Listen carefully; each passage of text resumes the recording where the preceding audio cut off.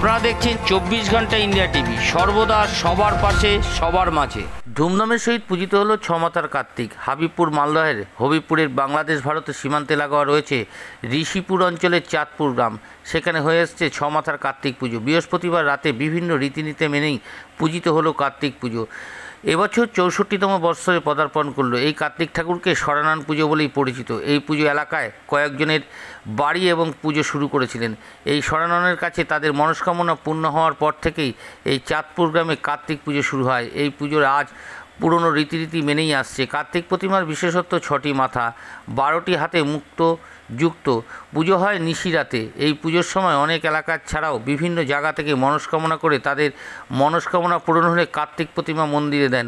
প্রতি বছর এই পুজোর সময় ছোট ছোট প্রায় পঞ্চাশ থেকে ষাটটি মাটির কার্তিক প্রতিমা ভক্তরা মন্দিরে নিয়ে আসেন। এই সব প্রতিমারও পুজো করা হয়। চব্বিশ ঘণ্টা ইন্ডিয়া টিভির প্রতিনিধির বিশেষ প্রতিবেদন। আর বেশি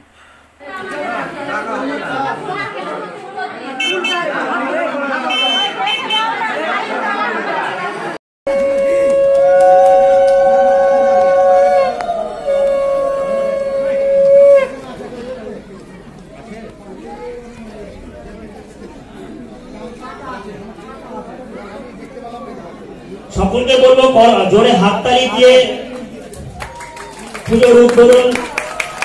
সম্পন্ন করার জন্য আমাদের উপস্থিত বিশিষ্ট অতিথিরা এবং ব্যক্তি যারা রয়েছেন তারা একে একে প্রদীপ প্রজ্বলন করছেন। এই পুজোর সূচনা হচ্ছে। এরপরে আমাদের অনুষ্ঠান কার্তিক পুজোর যে মূল পুজো নয় এটা মালদা জেলায় আর কোথাও এই ধরনের পুজো হয় না। এই পুজোর বিশ- বৈশিষ্ট্য এটি আমাদের এখানে। তো এই পুজোকে ঘিরে এখানে পুজোর পাশাপাশি সাত দিন ধরে সাংস্কৃতিক অনুষ্ঠান মেলার আসর হয়। জেলার বিভিন্ন প্রান্ত থেকে বহু মানুষ আসেন এখানে। এই পুজোকে ঘিরে সকলে আনন্দে উৎসবে সামিল হন।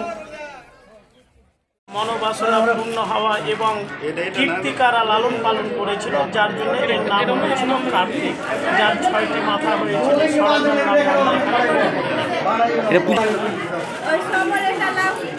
এখানে পুজো করে থাকি। আজ থেকে চৌষট্টি বছর আগে শুরু হয়েছিল এই পুজোটা আমাদের।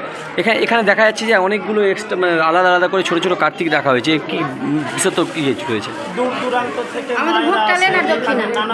মানত এবং ভগবান কার্তিকের কাছে মানত করে মনোবাসনা পূর্ণ হয় পূর্ণ হওয়ার ফলে জায়গা থেকে মায়েরা আসে। এখানে কার্তিকের পূজা দিতে এবং মানত জন্য এখানে ছোট ছোট কার্তিকগুলো সব নিয়ে আসে।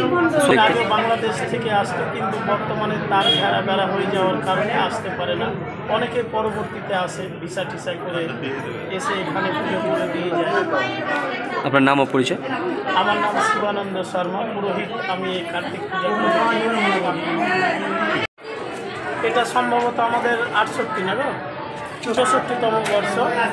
এখানে এর একটা পৌরাণিক কাহিনী আছে যে হলো যখন দেবতাদের স্বর্গরাজ্য তারকাসুর যখন দখল করে নিল দেবতারাও সাধারণ মানুষ সাধারণ মানুষের মতো এভাবে ওইভাবে ছন্ন ছাড়া হয়ে ঘুরে বেড়াতে থাকল সে সময় এক দৈববান ছিল যে পার্বতী এবং শিবের ঔরজান সন্তান যে হবে সেই একমাত্র তারকাসুরকে বধ করতে পারবে অন্য কেউ আর নয়।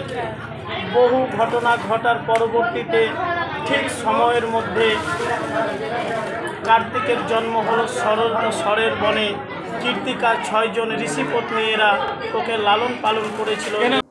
আজ এ পর্যন্ত সঙ্গে রাখুন চব্বিশ ঘণ্টা ইন্ডিয়া টিভি। দেখতে থাকুন সব জেলার সব খবর। সবার আগে চব্বিশ ঘণ্টা ইন্ডিয়া টিভির পর্দায়। নমস্কার।